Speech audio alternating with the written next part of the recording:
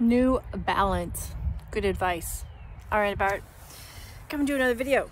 we're gonna do a little spoon bending video. So people always ask, can you do more than silverware? Like thicker metal, bigger, better. Um, you can, it's not the point, but I thought I'd try it today because uh, people ask it. And so, all right, here we go.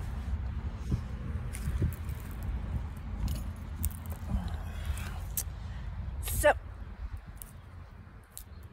I have a monster Cuisinart ladle. Mm-hmm, yep, still has a tag on it, brand new.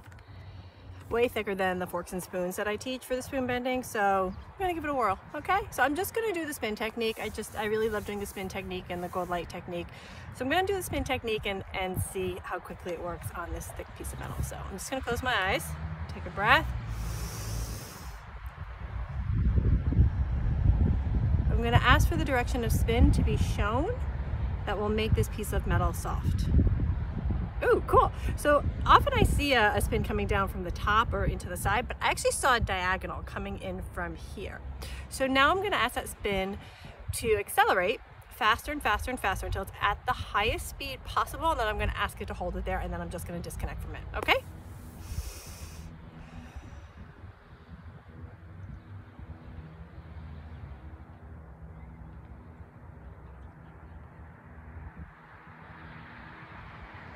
Okay, done. I'm gonna give it a little bit to incubate because this is pretty thick. Um, so why the spin technique? I'm gonna explain why you wanna learn spoon bending because a lot of people are like, well, what's the point in that? It's a nice party trick, but that's not what it's about at all. So spoon bending is really to show you techniques that you can use in your life to manifest the things that you want and also learn different ways to work with your energy. So the spin technique is super cool. It comes from neurolinguistic programming. It's, it's one of my first videos on YouTube and um, you can use it in two ways. The first way is that if you want to release or dissolve an emotion and you're having trouble with it, you would connect to the emotion. So say you're feeling anger right now. So I'd close my eyes, connect to the anger. And let's say I'm gonna ask for the direction of spin of that anger that I'm feeling. And let's say I'm seeing it come in the side here. So what I would envision, and some people are like, well, I don't get it, I don't see it. So create it in your mind. What you would create in your mind is then the spin going in the opposite direction and you'd have it going faster and faster and faster until it was at the fastest possible speed and then you'd ask it to hold it there. And that would actually dissolve that anger. If you wanted to feel another emotion, that you often don't feel. And I use this example of, say, you have to give a presentation at work and public speaking is not your thing. Um, you would connect to a time where you felt super confident.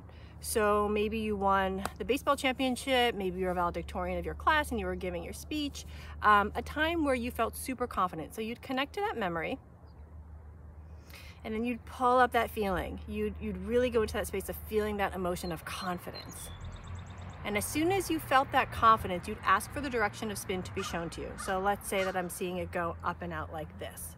Instead of asking it to go reverse, you would have it go in that same direction and you'd have it go faster and faster and faster. And as soon as you saw that spin going in that same direction at the fastest possible speed, then you'd anchor it into your body. So maybe you'd tap your collarbone or you'd pull on your earlobe, but you do something to anchor it into the body.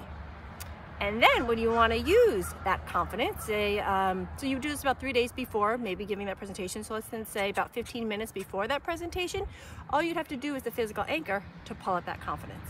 So it's a really wonderful technique to use in your life and it works. So, all right, let's see if this is ready. I have no idea. I've never done anything like this before. So let's see.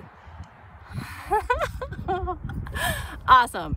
So to answer a lot of your questions, um, it doesn't matter how thick the metal is. So this is really cool. I'd say, you know, do whatever kind of metal you want. I usually stick to forks and spoons, but you can do ladles. You can do steel rods. You can do whatever you want.